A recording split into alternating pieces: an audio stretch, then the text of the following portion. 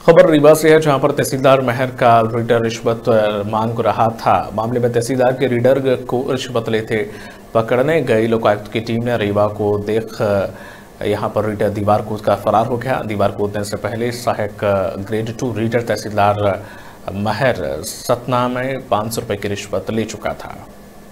बता दें कि नारायण सोनी निवासी सोनवारी ने लोकायुक्त की टीम रीवा में शिकायत की थी। विनोद कुमार गुप्ता रीडर तहसीलदार और ज़मीन के नामांतरण के अवज में रिश्वत की मांग कर रहा था। नामांतरण के लिए वह कई बार तहसील कार्यालय के रीडर से मिला लेकिन वह बगैर पैसा काम करने की राज़ी नहीं था जिसकी शिकायत की गई।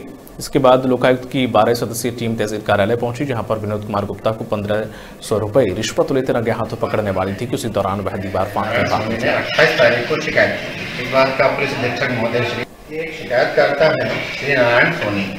इनके सुपुत्र हैं सत्यव्रत सोनी। इन्होंने उनके नाम से कोई प्लाट खरीदा था। और उसका नामांकन की कार्रवाई यहाँ पे उसने आवेदन लगाया हुआ था। उस नामांकन करने के वजह में यहाँ पे जो बाबू हैं, तहसीलदार साहब के।